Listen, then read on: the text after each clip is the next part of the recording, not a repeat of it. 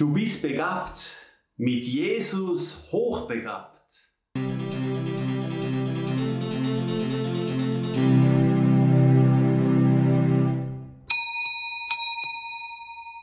Im heutigen Evangelium ist es für Jesus keine einfache Situation. Kurz vorher bekommt er die Nachricht, dass Johannes der Täufer enthauptet wurde. Jesus war wahrscheinlich traurig, bedrückt, und er möchte einfach in die Ruhe gehen, in die Stille, um vielleicht mit seinem Vater zu sprechen und Trost zu finden im Gebet. Doch die Menschen folgen ihm zu Tausenden. 5000 Männer ist geschrieben, mit Frauen und Kindern wahrscheinlich 10.000 bis 20.000 Menschen. Und diese Menschen wollen die Begabungen, Talente und Fähigkeiten, die Jesus hat, in Anspruch nehmen. Und Jesus hat Mitleid mit ihnen und heilt dann auch somit viele Menschen und schenkt ihnen wahrscheinlich auch Trost und Zuversicht und lehrt sie auch. Und als es Abend wurde, da wollten die Jünger diese Menschen schon in die umliegenden Dörfer schicken, damit sie dort etwas zu essen kaufen. Und da sagt Jesus ganz schön, eben nein, sie brauchen nicht wegzugehen, gebt ihr ihnen zu essen. Also Jesus möchte, dass auch die Jünger ihre Verantwortung, ihre Fähigkeiten, die sie selbst haben, wirklich auch beanspruchen.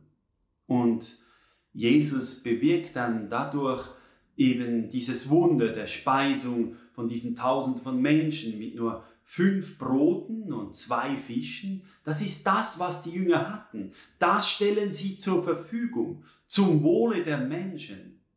Und Jesus kann daraus eben noch viel mehr bewegen, sodass alle, wirklich alle satt wurden und letztendlich sogar noch zwölf Körbe voll Brote eingesammelt wurden. Wir dürfen diese zwölf dann sicher auch so verstehen, dass die Gnaden, der Gnadenschatz letztendlich von Gott, diese Fülle der Liebe eben den Aposteln anvertraut wird und somit den nachfolgenden Aposteln der Kirche und dass die Kirche diesen Gnadenschatz für alle Menschen bereit hat und möchte, dass alle Menschen satt werden von der Liebe Gottes. Und dieser eine Satz heute enthält jetzt nun eine ganz wichtige Lehre auch für uns bereit. Gebt ihr ihnen zu essen. Es ist wichtig, dass wir unsere Talenten, Gaben, unsere Charismen, die uns geschenkt wurden von Gott, nicht brach liegen. Wir sollen sie einsetzen für die Menschen, im Dienst für die Menschen. Jesus möchte unsere tatkräftige Mithilfe. Jesus hätte dieses Wunder der Speisung auch selbst bewirken können. Aber nein, er wollte, dass die Jünger das geben, was sie haben. Die fünf Brote und zwei Fische. Und so bewirkte er das Wunder. Also vielleicht ist es heute, vielleicht auch für uns mal Gelegenheit dazu, dass wir mal still werden, ein Blatt Papier vielleicht ganz konkret nehmen, Bleistift mal aufschreiben. Was sind meine Gaben, Talente, Charismen, Fähigkeiten, die Gott mir geschenkt hat, die ich vielleicht schon gebrauche für meine Mitmenschen, für die Kirche oder die, die noch brach liegen? Und vergleichen wir nicht. Das bringt uns nicht weiter. Es geht jetzt um jeden Einzelnen von uns, dass wir uns im Dienst Gottes stellen. Da lohnt es sich nichts zu vergleichen. Es geht nicht um Konkurrenz. Es geht nicht darum, dass er eine mehr hat oder schönere oder bessere hat. Nein. Es geht darum, dass wir das, was wir eben in uns tragen, vervollkommen verwirklichen. Und jeder von uns ist ja ein Geschenk Gottes. Jeder von uns ist in den Augen Gottes eben vollkommen. Aber er muss das, was in ihm ist, eben auch verwirklichen. Also der, der vielleicht scheinbar mehr Talente hat, dem ist auch mehr Verantwortung anvertraut und somit eben wird er auch mal, wir können sagen, strenger gerichtet wenn er mal vor Gott hintreten tut. Also die Gaben und Talente sind nie für uns, sie sind für den anderen. Charismen sind immer eine Dienstgabe. Es geht nicht um Selbstverwirklichung, um Egoismus. Es geht nicht darum, sich über den anderen zu erheben und stolz zu werden.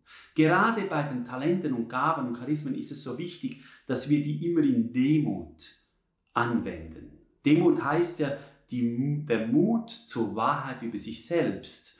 Und die Wahrheit über uns selbst ist, wir sind und bleiben Sünde. Wir sind Geschöpf und er ist unser Schöpfer. Und ihn beten wir an. Das ist die Wahrheit über uns selbst.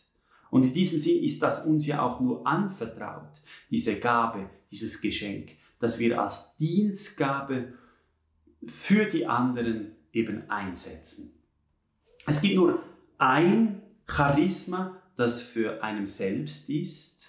Das ist das Charisma des Sprachengebets. Ein oft heute missverstandenes Charisma, aber ein sehr schönes Charisma, denn es ist eine Form der Ganzhingabe, wo ich mich ganz Gott überliefere und so sogar die Kontrolle über meinen eigenen Sprachgebrauch Gott übergebe, damit er ganz eben in mir konkret werden darf im Heiligen Geist und so ich erfüllt werde vom Heiligen Geist. Aber in diesem Sinn ist es natürlich dann auch wieder ein Geschenk, ein Segen für die Gemeinschaft, denn jemand, der ganz erfüllt ist vom Heiligen Geist, kann nur ein Segen für die Mitmenschen sein. Ein wichtiger Grundsatz ist nun jetzt ganz wichtig, ein geistlicher Grundsatz, die Dinge, die Gott schenkt, werden mehr, indem man sie weiterschenkt. Also alles, was ich für mich behalte, ist letztendlich verloren, kann nicht fruchtbringend sein.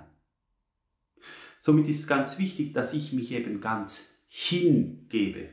Sehr schön kommt das zum Ausdruck bei der Gabenbereitung, wo der Priester dann betet, betet, Brüder und Schwestern, dass mein und euer Opfer Gott dem allmächtigen Vater gefalle.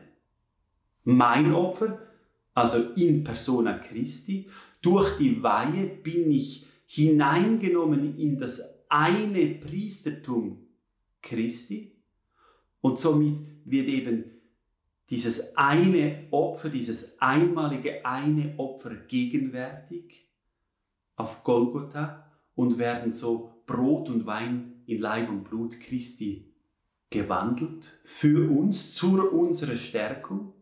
Aber das heißt nicht nur mein Opfer, sondern auch euer Opfer.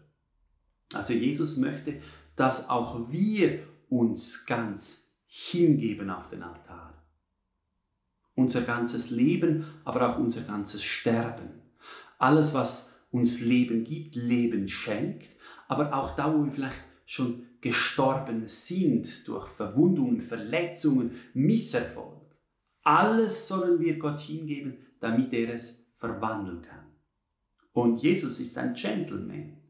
Er rührt nichts an, was wir ihm nicht geben. Er verwandelt nur das, was wir ihm schenken. Also nicht derjenige ist der Heiligste, der Beste oder Vollkommenste, der voll im Mainstream ist, der die neueste Garderobe gerade anhat und die beste Musik hört und ein Vokabular hat, das voll im Trend ist. Nein.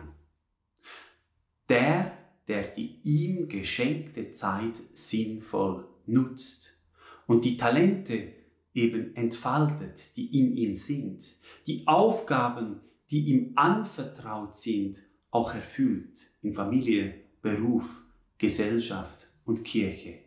Und ebenso ganz konkret Gottesliebe und Nächstenliebe praktiziert. Aber zuerst die Gottesliebe und dann daraus die Nächstenliebe. Denn sonst ist die Nächstenliebe einfach ein soziales Werk. Aber mit der Gottesliebe, aus der Beziehung zu Gott heraus, kann es eben gewandelt werden und eine Fülle werden. So wie Jesus eben diese Speisung der 5000 Männer eben da wirklich alle satt wurden. Er will die Fülle. Er will, dass es fruchtbringend ist. Also unser Schöpfer lädt uns ein, dass wir voll Weisheit und Liebe im Plan Gottes mitwirken. Und das bewirkt ja in uns dann auch wirklich Erfüllung, Freude, Friede. Und so multiplizieren wir sogar noch die Talente, die Gaben, die Fähigkeiten, die wir bekommen haben, so wie wir im Gleichnis der Talenten auch lesen können. Das, was wir zum Wohl der Menschen einsetzen, was uns anvertraut ist, wir wirklich auch einsetzen für die Mitmenschen, was wir geben, das ist fruchtbringend und vermehrt sich. Also vertrauen wir auf Jesus. Er wird uns nie überfordern, so wie er uns auch nie ein Kreuz anvertrauen würde, das uns zu schwer ist. Nein, jede Gabe kann so zu einer Gnade Gottes werden, wenn wir sie mit Christus machen. Und so werden wir nicht einfach begabt und wir sind nicht einfach begabt. Mit Jesus ist es noch fruchtbringender. Es multipliziert sich und wir werden so zu Hochbegabten. Nehmen wir diese Verantwortung wahr, wie Paulus es uns sagt, vernachlässige die Gabe nicht, die in dir ist und die dir verliehen wurde.